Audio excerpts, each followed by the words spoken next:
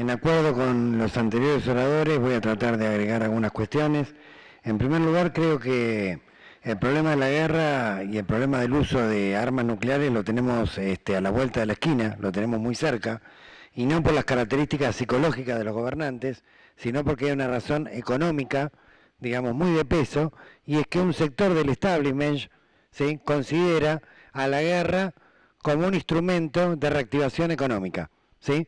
Hay que decir claramente que Trump, más allá de que es un psicópata, representa a un complejo militar industrial que se retroalimenta de las guerras y que estas guerras son las que le permiten de alguna manera después lavado de dinero, apropiación de recursos y una reactivación en el sistema financiero. Por lo tanto, la probabilidad o no de guerra no depende tanto de la psicopatía de tal o cual gobernante, aunque eso ayuda y obviamente mucho, ¿sí? sino de la base económica, ¿sí? que es la que está tratando de empujar a esa guerra. Ahora, lo que tenemos que comprender es que en nuestra época, las guerras, la época de la globalización, las guerras son muy diferentes a lo que eran en la Segunda Guerra Mundial, porque la sociedad está mundialmente comunicada. Por lo tanto, estas grandes empresas, estas grandes potencias que buscan la guerra como una palanca de reactivación económica y que la tratan de enmascarar detrás del argumento de que son guerras religiosas, etcétera, siempre tienen que buscar algún buen argumento para engañar a la sociedad mundial. Hemos sido engañados con el cuento de las armas químicas para que se destruyera Irak.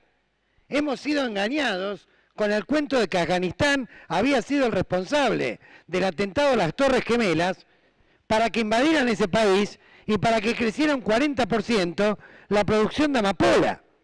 Claramente, apropiación de recursos, no solamente de los legales, también de los recursos vinculados al narcotráfico. Porque este imperialismo guerrerista no solamente se maneja por los conductos económicos normales, sino también los que tienen que ver con el crimen organizado.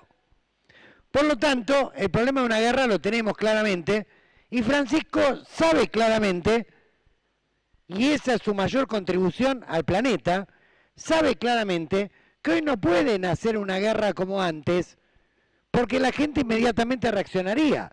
Hoy tienen que contarnos un buen cuento y tienen que tratar de convencer a la sociedad mundial de que esa guerra supuestamente es justa. Y es lo que no pueden hacer desde que Francisco es Papa. No lo pueden hacer. No pudieron continuar la guerra en Armenia y Azerbaiyán. No pudieron hacer la cantidad de bombardeos que querían hacer en Siria, que querían hacer en Libia. No pudieron continuar la guerra civil en África, en la República Centroafricana. No pudieron incrementar las acciones bélicas en Venezuela, donde estábamos en las puertas de una guerra civil. No pudieron profundizar el conflicto en Colombia. Entonces,